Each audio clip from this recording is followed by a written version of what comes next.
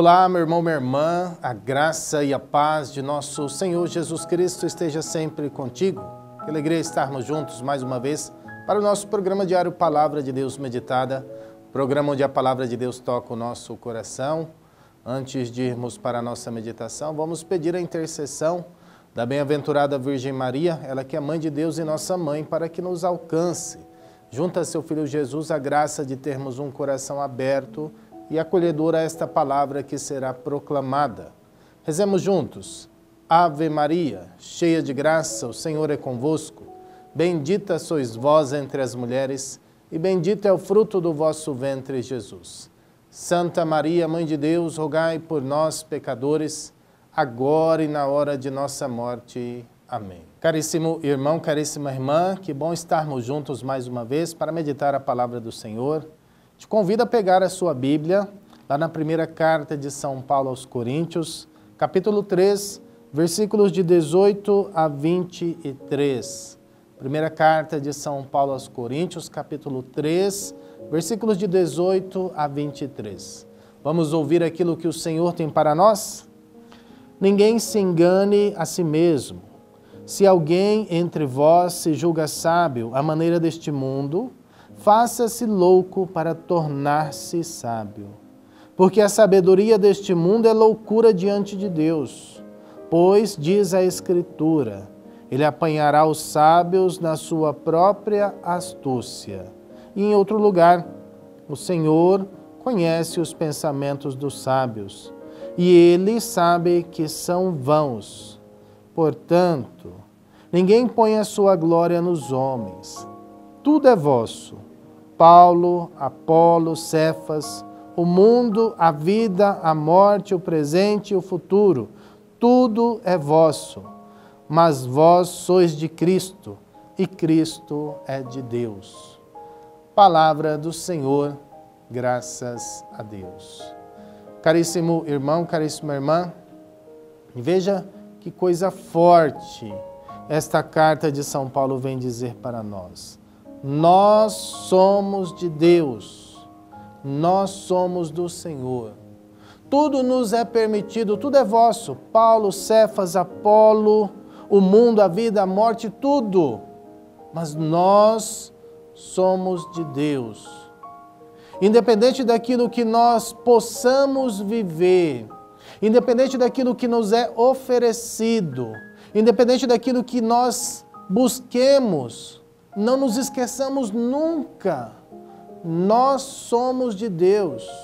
Nós somos de Deus dentro da igreja, nós somos de Deus dentro da nossa casa, no meio da nossa família, lá na rua, no trabalho, na escola. Nós somos de Deus. E isto é um questionamento também para nós. Será que alguém que nos vê na rua, vai olhar para nós e vai perceber, pelo nosso modo de agir, pelo nosso modo de falar, pelo nosso modo de nos comportarmos, que nós somos de Deus? Será que nós transmitimos esta pertença ao Senhor? Isso é importante, a gente se perguntar. Será que alguém olha para mim e enxerga em mim um homem, uma mulher de Deus? Porque nós pertencemos ao Senhor, nós pertencemos a Deus.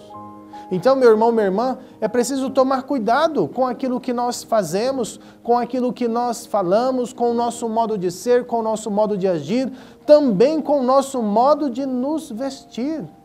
Será que a gente se apresentaria a Deus, sabendo de todos os seus ensinamentos, de todos os seus mandamentos, da forma que a gente se veste, da forma que a gente vai a uma festa? Será que o modo como nós nos comportamos é um modo coerente com o fato de pertencermos a Deus? Vamos além. Será que o modo que nós dançamos em muitas festas por aí condiz com esta pertença a Deus?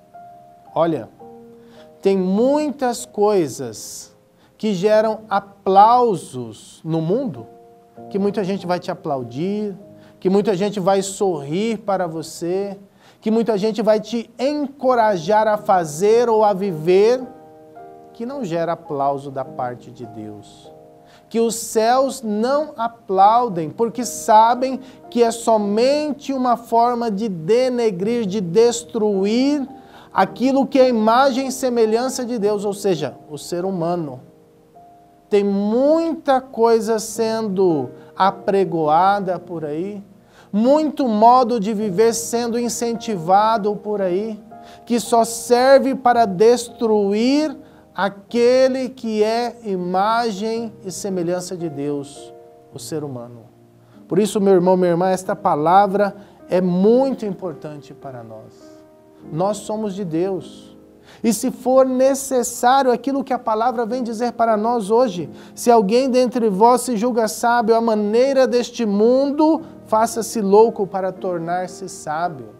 Se você se julga sábio, se as pessoas do mundo não as pessoas de Deus, mas se as pessoas do mundo te julgam o grande sábio, se as pessoas do mundo te julgam a grande pessoa importante, cuidado.